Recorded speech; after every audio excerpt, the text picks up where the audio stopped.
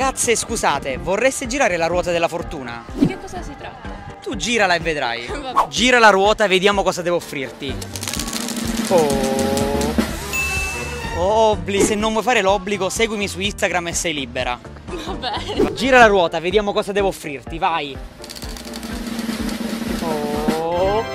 Carbonara! Questa carbonara gratis ti ho portato in uno dei migliori ristoranti di Palermo, da Cacio e Pepe, e pago tutto io. Questo, questo. Ancora? Basta!